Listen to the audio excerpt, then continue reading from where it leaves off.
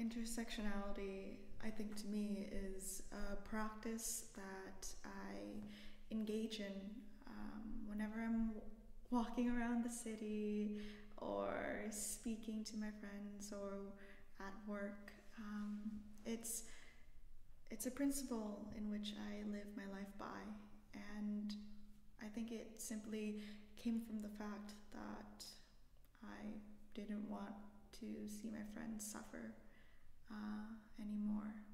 And I think we create our communities around people who can truly understand uh, one's own existence. And I think I have a very complicated uh, existence. Um, so it's a, it's a tool in which I use to kind of love myself and um, love other people.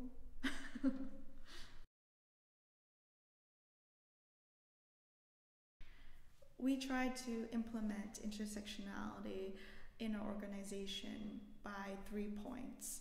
Um, the first point would be that we always make sure to have a space curated for the queer Asian diaspora.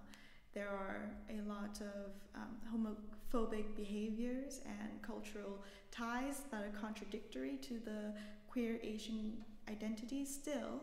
So we always make sure to have half of our events just to support the queer Asian diaspora.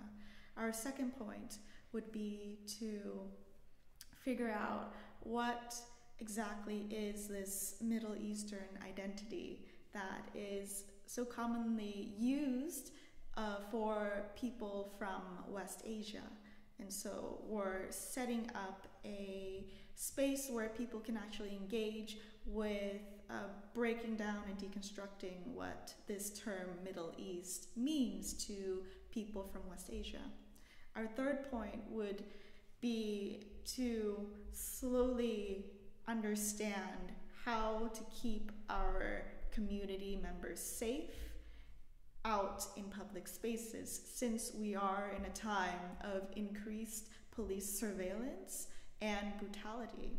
And this has been a breaking point right now, currently in the world, uh, for colored bodies, especially because private spaces are now being owned by those in power with resources, and BIPOC are now being forced to move to public spaces in order to organize, which essentially means that we are now subject to higher rates of violence. So it's negotiating how do we figure out how to organize in public spaces and how to take back our parks, our streets, etc.